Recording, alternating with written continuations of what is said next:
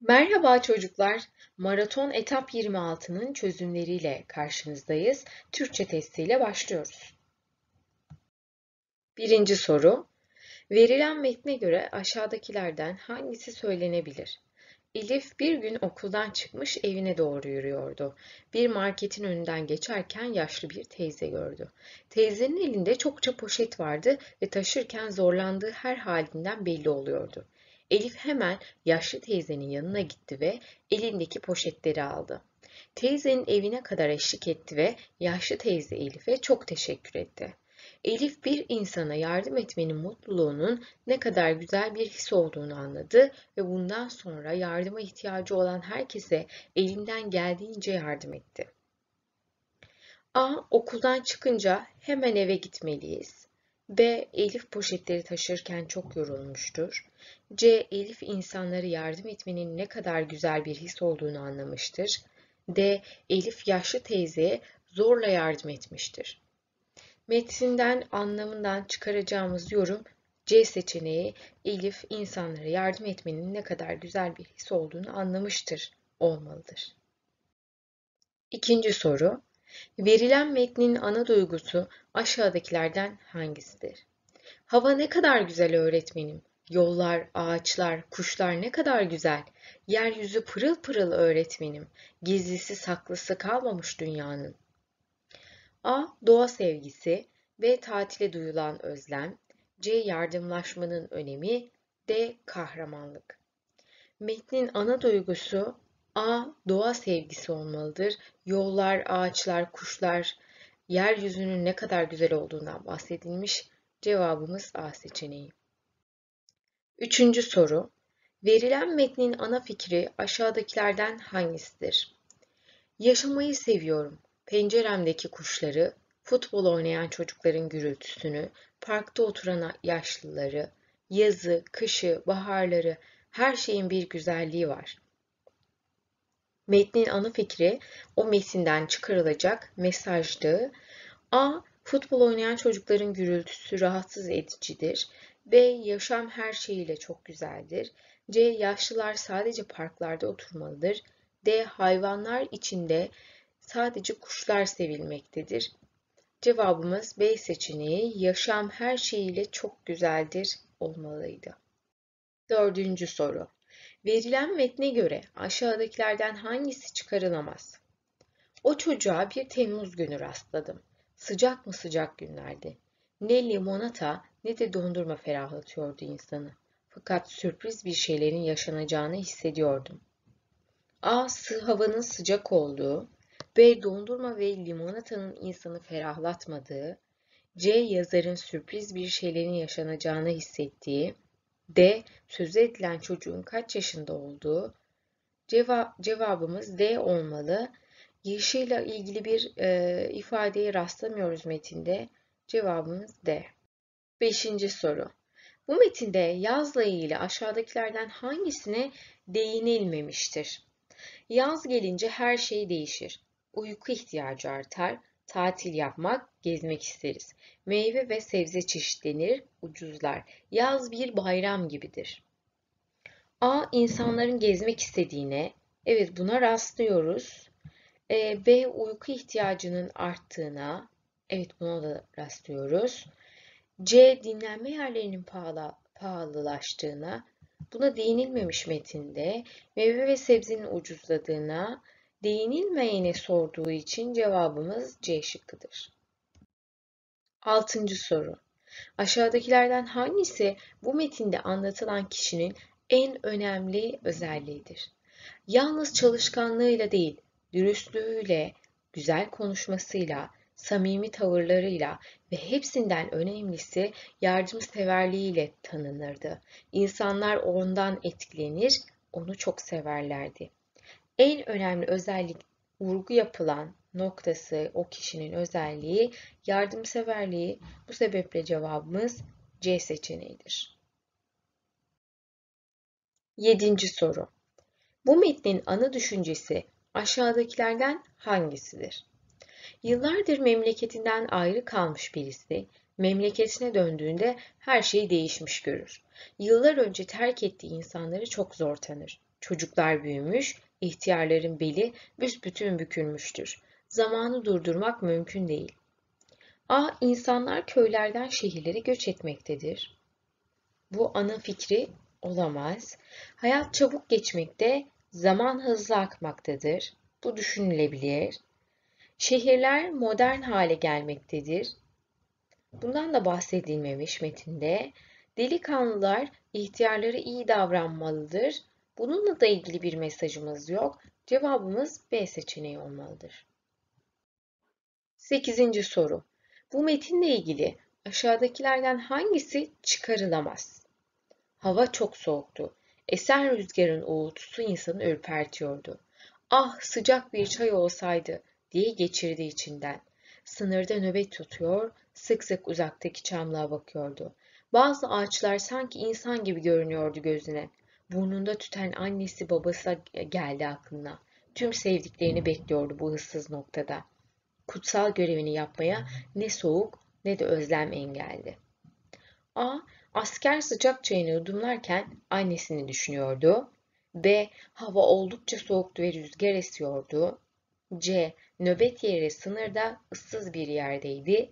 D. Asker annesini ve babasını özlemişti.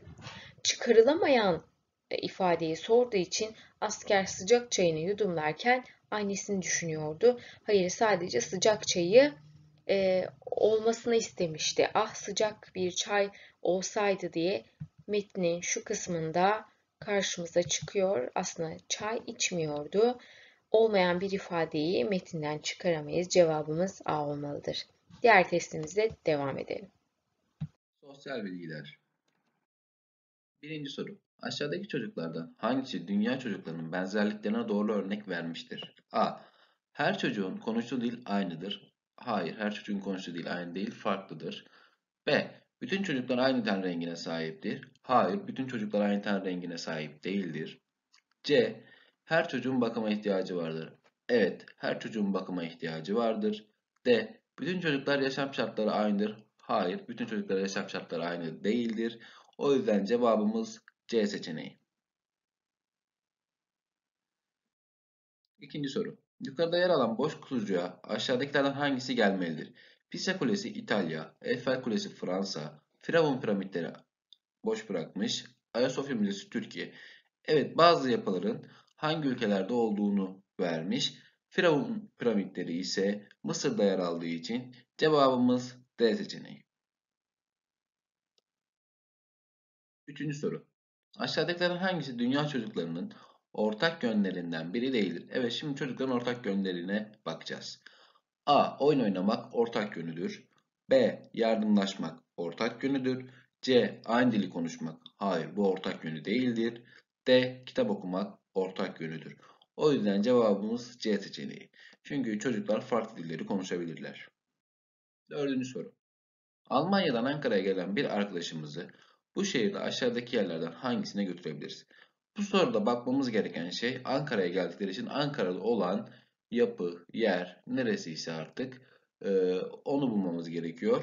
O yüzden A şıkkına baktığımız zaman Anıtkabir, atamızın yattığı yer Ankara'da yer alıyor.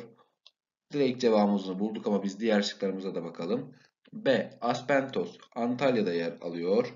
C. Peribacaları Nevşehir'de yer alıyor. D. Sümele Manastırı Trabzon'da yer alıyor. Ankara'da yer alan Anıtkabir cevabımız A seçeneği. Beşinci soru. Aşağıdakilerin hangisi Türkiye'nin sınır komşusu olduğu ülkelerden biri değildir? A. İran, doğu sınırı komşumuz. B. Yunanistan, batı sınırı komşumuz. C. Suriye, güneydoğu sınırı komşumuz. D. Almanya, hiçbir bağlantımız ve sınır komşuluğumuz olmadığı için cevabımız D seçeneği. Altıncı soru. Aşağıdaki ülkelerden hangisi ülkemizle benzer kültürel özelliklere sahip değildir? A. Azerbaycan. Azerbaycan'da Azeri Türkleri yaşadığı için bizimle benzer kültürel özelliklere sahiptirler. B. Türkmenistan. Türkmenlerin yaşadığı Türkmenler de bizim soydaşımız olduğu için bizimle benzer kültürel özelliklere sahiptir. C. Kazakistan. Kazak Türklerinin yaşadığı bir ülke olduğu için bizimle benzer kültürel özelliklere sahiptir. Fakat Brezilya bizimle hiçbir bağlantısı olmadığı için bizimle benzer kültürel özelliklere sahip değildir. O yüzden cevabımız D seçeneği. Yedinci soru. Selda'nın yeni gördüğü bu ülkenin farklılıklara karşı hangisini yapması doğru olur? Selda, Hollanda'da yaşayan amcasını ziyaret etmiştir. Ziyaret sırasında selamlaşırken yanağı üç kez öpüldüğünü, meyan kökünün fazla tüketildiğini, yolların bisikletlerle dolduğunu ve bisikletlere özel park yerlerinin yapıldığını gözlemlemiştir. Şimdi bakalım hangisini yapması doğru olurmuş. A. Yapılan faaliyetleri küçümsemesi. Hayır bu yanlış olur. B. Saygı ile karşılaması. Evet bu doğru. Yapması gereken şey. C. Kendi kültürünü unutması. Hayır bunu kesinlikle yapması gerekmiyor. Kendi kültürünü unutmaması gerekiyor. D. Hollanda kültürünü ülkesine uygulaması. Bunu da yapması yanlış. Çünkü her ülkenin, her insanların kültürü kendine ait ve farklı olduğu için ona göre olması gerekiyor. Bu yüzden D seçeneği de yanlış. Cevabımız B seçeneği. 8. soru. İzmir'den batıya doğru deniz yolculuğu yaparsak hangi ülkeye ulaşırız?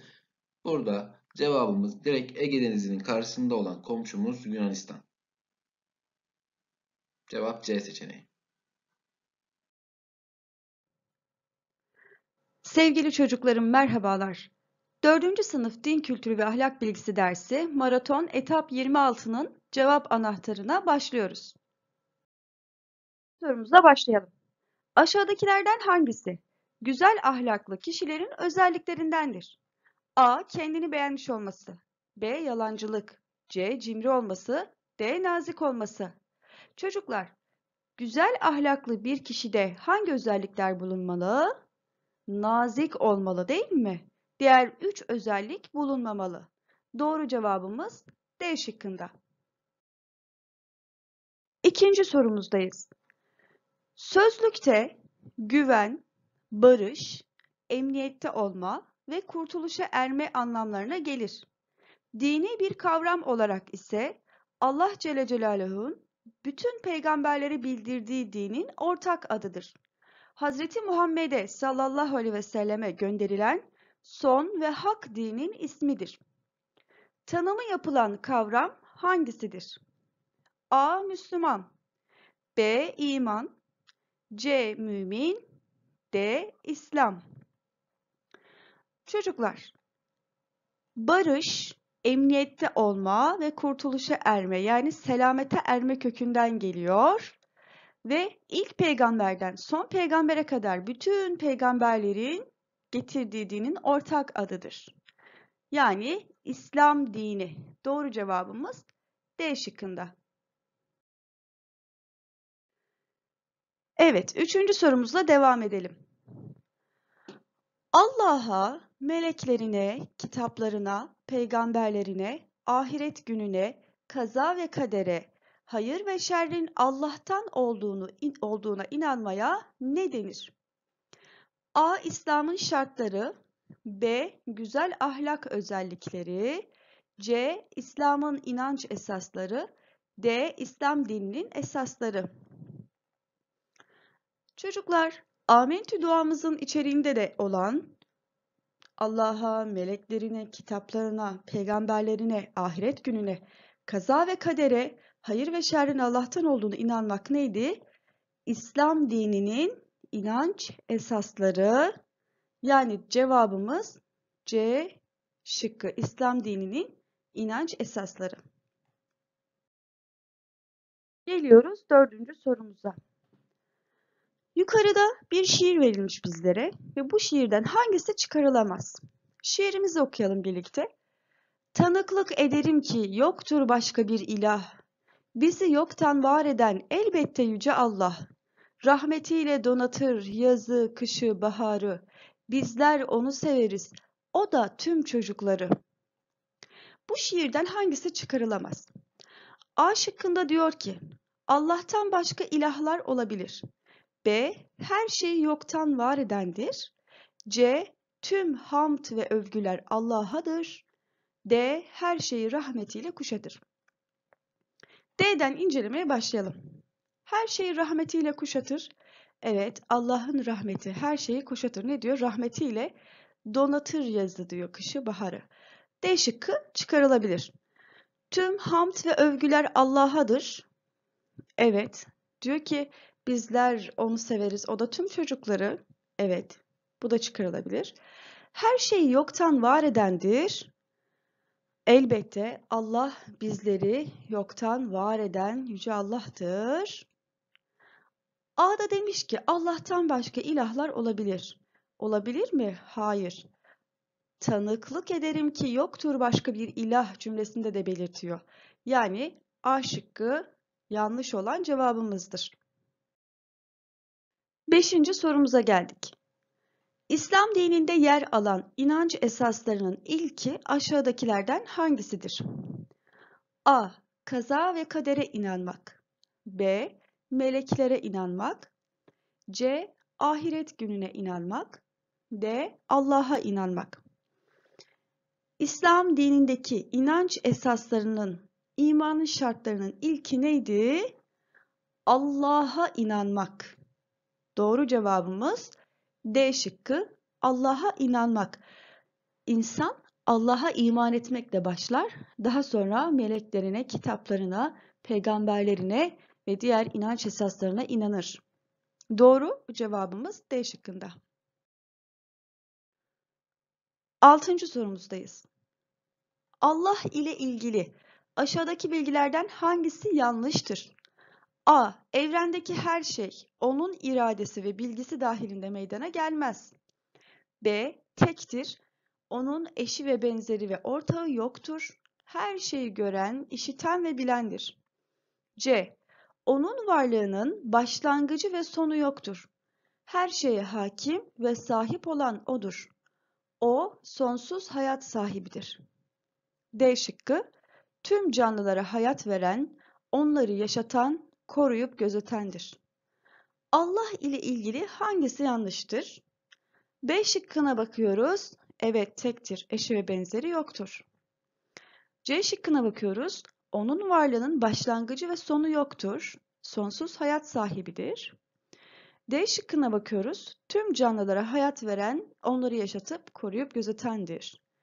Ancak A şıkkında diyor ki, evrendeki her şey onun iradesi ve bilgisi dahilinde meydana gelmez. Hayır, evrendeki her şey Allah'ın izni olmadan hiçbir şey gerçekleşmez. Her şey onun iradesiyle meydana gelir. O halde yanlış olan cevabımız A şıkkında. Yedinci sorumuzla devam edelim. Çevremize baktığımızda hiçbir şeyin kendiliğinden olmadığını görürüz. Her binayı yapan bir usta, her resmi çizen bir ressam ve her eseri yapan bir sanatkar vardır. Evrendeki hiçbir şey de kendiliğinden var olmamış ve olmamaktadır. Evrendeki her şeyi bir yaratan vardır. Bu paragraf aşağıdakilerden hangisine işaret eder?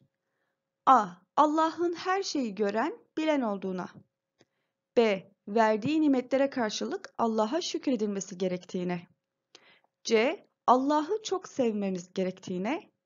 D. Allah'ın varlığına ve birliğine ve her şeyi Allah'ın yarattığına. Baktığımızda paragrafta bize ne anlatılıyor çocuklar? Çevremize bakalım. Hiçbir şey kendiliğinden değildir. Nasıl ki her bina yapan bir usta varsa, her resmi çizen bir ressam varsa, o halde bu evreni yaratan yüce Allah vardır. Ve Allah bir ve tektir. O halde doğru cevabımız D şıkkında Allah'ın varlığına ve birliğine ve her şeyi Allah'ın yarattığına işaret eder. Doğru cevabımız D şıkkımızda. Geliyoruz 8. sorumuza. Aşağıdakilerden hangisi meleklerin özelliklerinden değildir? A. Sürekli Allah'a ibadet ederler. B. Allah'ın buyruklarını yerine getirirler. C. Cinsiyetleri yoktur, yemezler ve içmezler. D. Nurdan yaratılan fakat gözle görülebilen varlıklardır. Bizlere meleklerin özelliklerinden değildir diye soruyordu. Meleklerin özellikleri nelerdi çocuklar? Melekler sürekli Allah'a ibadet ederlerdi. Allah'ın emirlerini yerine getirirlerdi. Cinsiyetleri yoktu. Yani dişilik ve erkeklikleri yoktur. Yemek yemezler, içmezler, yorulmazlar, uyumazlar. Nurdan yaratılan fakat gözle görülebilen varlıklardır. Evet nurdan yaratılmışlardır ancak melekler gözle görülemezler. O halde yanlış olan cevabımız D şıkkımızda. Evet çocuklarım, maraton etap 26'nın cevap anahtarını böylelikle birlikte oluşturduk. İnşallah verimli bir ders olmuştur. Kendinize çok çok iyi bakın. Allah'a emanet olun. Hoşçakalın. Hello everyone, how are you today? I hope you're fine. Let's check your question. Let's start together. Number one. Diyalogda boş bırakılan yere en uygun ifadeyi işaretleyiniz. Blah blah do you get up in the morning at 7 o'clock. Cevaba baktığımızda bize bir saat vermiş. Demek ki bizden ne istiyor? Saati soruyor değil mi bize? Saat kaçta kalktığımızı soruyor. Yes, you're right. Our answer is C. What time? What time do you get up in the morning? At 7 o'clock. Okay. Number two. Diyalogda boş bırakılan yere en uygun ifadeyi işaretleyiniz. Do you like blah blah cartoons? Yes, I do. Do you like blah blah cartoons? Cartoon means Yes, you're right. Çizgi film. Çizgi filmin ne yapmayı seviyormuş? Soru da severmiş. Soru soruyor. Bakalım hangisi? Doing cartoons, reading cartoons, collecting cartoons. Yes, you are right. Our answer is D. Watching cartoons. Okay. Number three. Diyalogda boş bırakılan yere en uygun ifadeyi işaretleyiniz. What time do you wake up? Blah blah Saturdays. Blah blah nine o'clock. Hmm, bize saati e, cumartesi günleriyle alakalı gün günlerle ilgili bir şey sormuş ve sonra cevapta saati vermiş. Hatta ben size bir şey söylemiştim derste. Hatırlıyor musunuz? Saatler ata binmiş, 10 günde aya inmiş diye. Evet, harikasınız. Hatırlayanları süper. Tebrik ediyorum. What time do you wake up on Saturday? At 9 o'clock. Yes, our answer is B. Number 4. Boş bırakılan yerlere uygun düşen seçeneği işaretleyiniz. I like riding a bike. I like riding a bike. Hmm, what's the question? Can you ride a bike? What color is your bike? Do you have a bike? What's your favorite activity?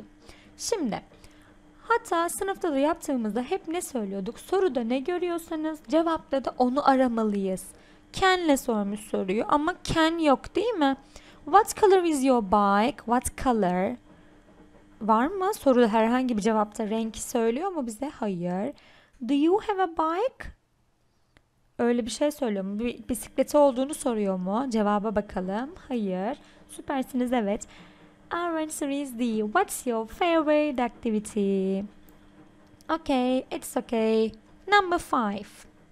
Boş bırakılan yere uygun düşen seçeneği işaretleyiniz. I do shopping. What do you do on Friday? What do you do on Friday? What time do you go home on Sunday? Where are you from? What's your favorite activity? Şimdi dediğimiz gibi soruda ne görüyorsak cevapta da o. Cevapta ne görüyorsak soruda da onu göreceğiz. Bu fiiller bile olsa aynısı olacak. Bakın. What's your favorite activity? Sorusunun cevabı bu olabilir mi? I do shopping. No. Where are you from? I'm from Turkey. No. What time do you go home on Sunday? Mm, at 9 o'clock. No. What time? Yes, you're right. What what do you do on Friday? Okay. 6. Diyalogda boş bırakılan yere en uygun ifadeyi işaretleyiniz. He is a fireman. What is his job? What can he do? Where does he work? What does he like? Hmm, bize bir meslek cevabı vermiş. Soruda da bize mesleğini sorması lazım değil mi? Yes, our answer is A. What is his job? He is a fireman. Okay, next one. Diyalogda boş bırakılan yere hangi seçenek uygun düşer? What is your job? I'm blah blah. Where do you work? In a blah blah. What's your job derken bize bir meslek soruyor değil mi? Okay, bakalım. Actor, theater. Önce şöyle bakalım. Bunlar birbiriyle uyumlu mu? Actor, theater? Yes. Actor works at the theater. Yes. Writer, farm. Or nurse, school. Policeman, restaurants. No, our answer is A. And the last one. Boş bırakılan yere uygun düşen seçeneği işaretleyiniz. It's blah blah on Thursday. Let's find the Thursday. Yes, Thursday. Is it rainy? No. Is it snowy? No. Is it sunny? No. It's windy on Thursday. Okay, thank you so much. Goodbye. I love you. Matematik. Birinci soru. Aşağıda verilen şekillerde soru işareti olan yerlerden hangisi geniş açıya örnektir? Şimdi bu soruyu çözebilmek için öncelikle geniş açının 90 dereceden büyük olan açılar olduğunu bilmemiz gerekiyor. 90 derece aralıktaki açı şu şekilde bir aralığı olması gerektiğini ben size yan tarafa çizerek gösterdim. Şimdi e, şıklara bakalım. A şıkkından başlamak istemiyorum. B şıkkından başlayacağım. E, B şıkkına baktığınız zaman şuradan şu şekilde e, 90 derecelik açıyı çizdiğim zaman kerpetenin ağzında soru işaretiyle gösterilen açı 90 dereceden küçük olduğu için bu dar açıdır. Açı örnek olarak gösterilmez. Şimdi uçağın kanadına bakalım. Aynı şekilde uçağın kanadını kırmızı ile çiziyorum çocuklar. 90 derecelik açıyı çizdim. 90 derece açı çizdiğim zaman bu arada soru işaretiyle gösterilen açı da 90 dereceden küçük olduğu için bu da dar açıya örnektir. Şimdi bu burada bir çizgi vermişler. Çizgiyi de aynı şekilde 90 derecelik açı çizerek gösteriyorum. Buradaki açı da 90 dereceden küçük olduğu için D şıkkı da dar açıdır. Geniş açıya örnek verilemez. Şimdi A şıkkına bakıyorum. A şıkkına baktığım zaman yel kovandan çizerek şu şekilde 90 derecelik açıyı oluşturuyorum. Bu açı 90 dereceden büyük yani şurası da olduğundan dolayı bu bir geniş açıdır. O yüzden cevabımız A seçeneği. İkinci soru. Standart açı ölçme birimi nedir? Bu çok kolay bir soru. Bunu bildiğinizi tahmin ediyorum. Derecedir. Cevap D seçeneği. Üçüncü soru. Doğru açı dik açıdan kaç derece fazladır? Şimdi bu soruyu çözebilmek için şunu bilmeniz gerekiyor. Doğru açının 180 derece olduğunu, dik açının da 90 derece olduğunu bilmeniz gerekiyor. Kaç derece fazla olduğunu sorduğu için 180 dereceden 90 dereceyi çıkardığınız zaman cevabımız 90 derece oluyor. Cevabımız B seçeneği. Dördüncü soru. Saat 3'ü gösterdiğinde akrep ile yelkovan arasındaki açı kaç derecedir? Şimdi bu soruyu çözerken hemen öncelikle şöyle bir e, saat çiziyorum. 12 burada. 3 burada. Şimdi 12'yi gösterdiğinde akrep 3'ün üzerindeyken yelkovan 12'nin üzerinde oluyor. Şu arada oluşan açı da baktığınız zaman tahmin ettiğiniz üzere 90 derece oluyor. O yüzden cevabımız C seçeneği. Beşinci soru. İki dik açının toplamından elde edilen açıyı aşağıdakilerden hangisiyle ifade ederiz? Şimdi bu soruda bilmemiz gereken dik açının 90 derece olduğu. Bize iki dik açının toplamı dediği için 90 artı 90 yaptığım zaman 180 dereceyi buluyorum. 180 dereceyi bulduğum zaman 180 derece yani şu açı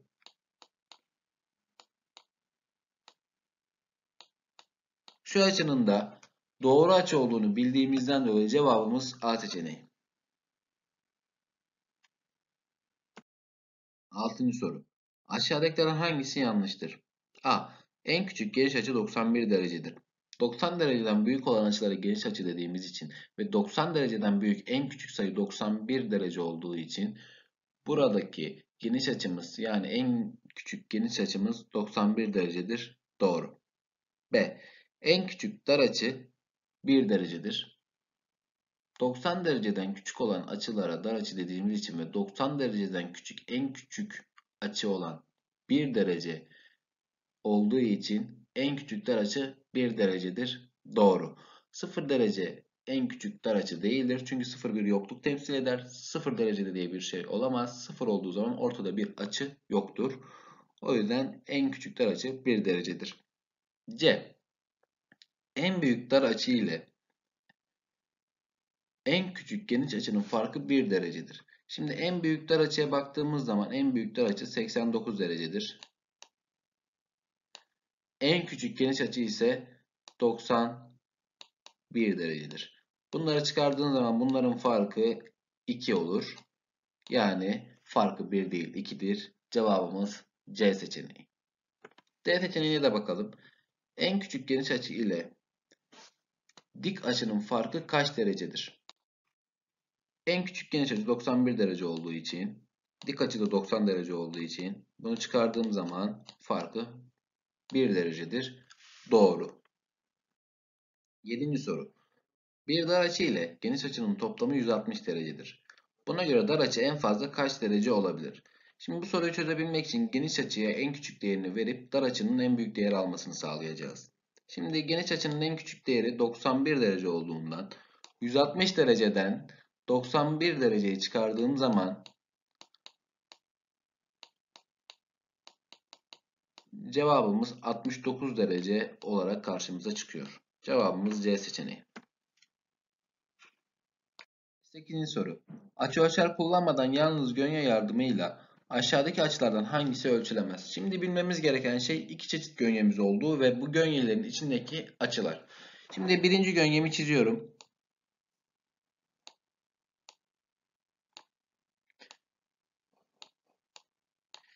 Birinci gönyem 90 45 45 derecelik gönye. Bu birinci gönye. İkinci gönyemi çiziyorum.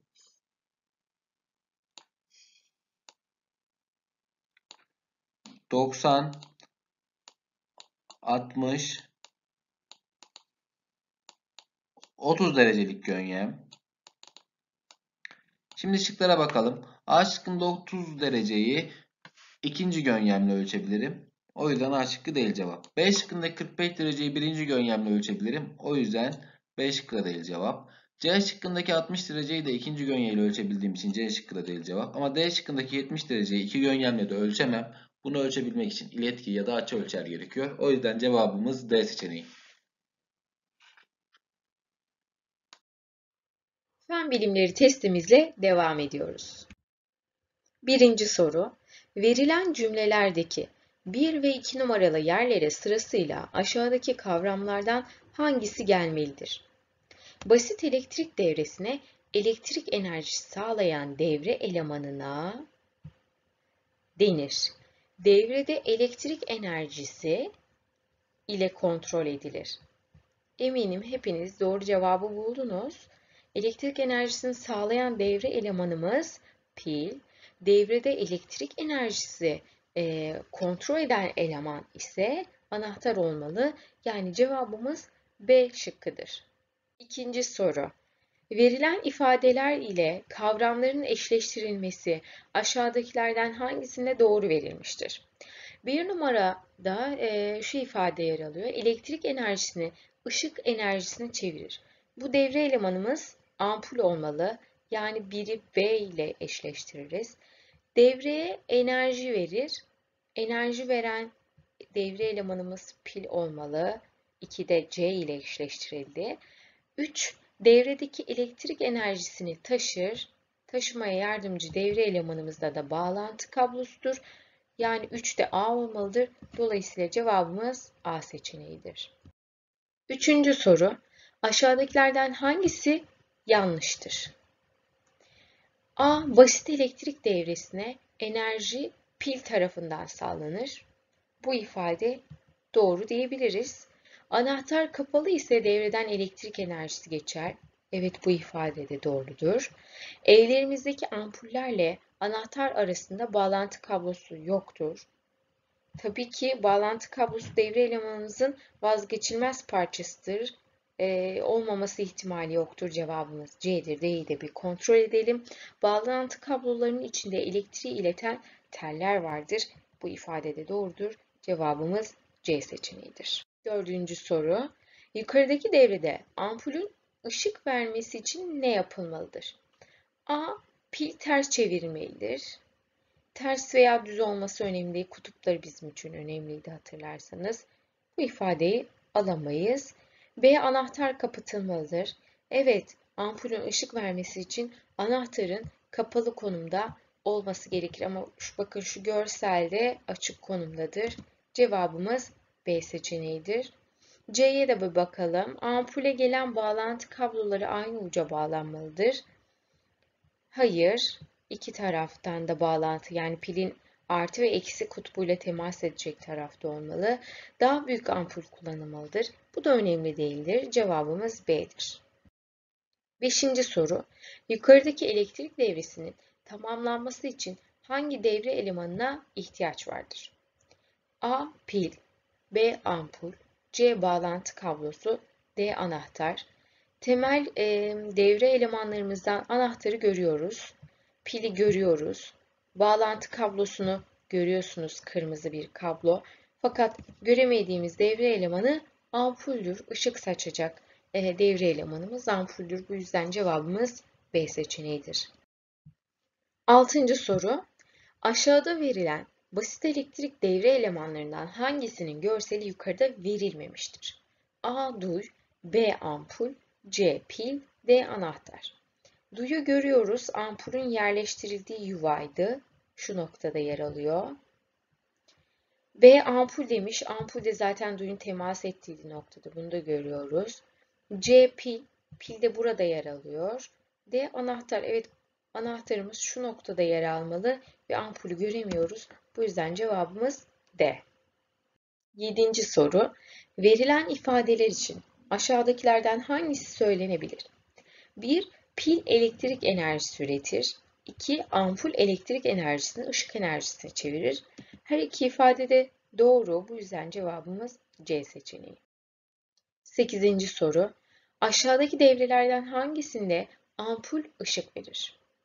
Bunun için belli başlı özelliklerimiz vardı. Devre elemanlarımızın eksik olmaması, anahtarın kapalı olması, ampulün yanık olmaması, birden fazla pil varsa e, zıt kutupların birbirine bağlı olması gibi.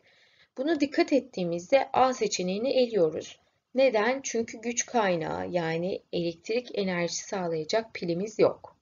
B seçeneğinde ise bağlantı kablosunda bir kopukluk var şu noktada. C seçeneğinde anahtarımız açık. Bu sebeple ışık vermez. Ama D seçeneğinde bu özelliklerin tümü yer almakta. Bu yüzden cevabımız D şıkkı.